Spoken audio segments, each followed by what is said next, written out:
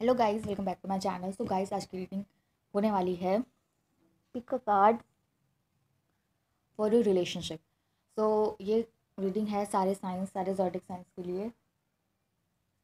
And guys अगर आपको videos अच्छे लगते हैं तो प्लीज़ वीडियो को लाइक करें शेयर करें एंड चैनल को सब्सक्राइब करें। तो चलते हैं रीडिंग स्टार्ट करते हैं। तो देखेंगे कि रिलेशनशिप के लिए टैरो से क्या गाइडेंस आ रही है।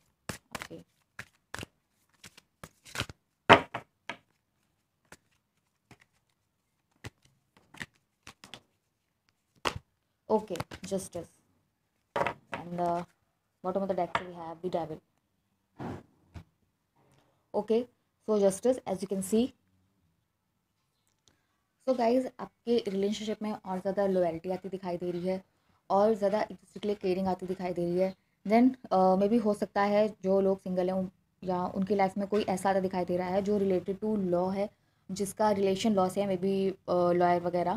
सो so, और ज़्यादा कह सकते हैं कि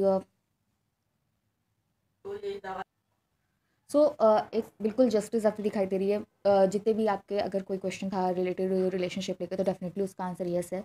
आपको जस्टिस मिलती दिखाई दे रही है आपके फेवर में सब कुछ होने वाला है आपकी रिलेशनशिप और स्ट्रॉन्ग होने वाली है। सो so गाइज़ ये थी आपकी tarot guidance for your relationship so guys if you like this reading please like this video share this video comment on this video and subscribe to my channel तब तक के लिए बाय बाय